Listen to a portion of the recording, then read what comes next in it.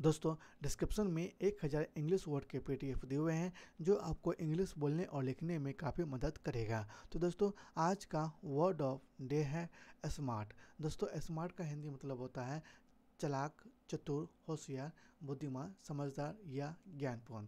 दोस्तों स्मार्ट का मतलब होता है कि किसी व्यक्ति, कोई कोई भी व्यक्ति है, उसका आई क्यू कैसा है, यानी कि वो कोई भी काम को किस प्रकार से करता है। हार्ड वर्क करता है या स्मार्ट वर्क करता है। तो दोस्तों। स्मार्ट के दो ऐसे एग्ज़ाम्पल समझ लेते हैं, जो बार बार डेली में आता है। दोस्तों फ़र्स्ट एग्ज़ाम्पल इस प्रकार है। You need me because I am smart I am aggressive दोस्तों, जिसका हिंदी मतलब होता है, आपको मेरी ज़रूरत है क्योंकि मैं स्मार्ट हूँ और मैं आक्रामक हूँ। दोस्तों सेकेंड एग्ज़ाम्पल इस प्रकार है। Do be a smart shopper दोस्तों, जिसका हिंदी मतलब होता है, होशियार दुकानदार बने। तो दोस्तों, आज के वीडियो को तो यहीं समाप्त करते हैं। धन्यवाद।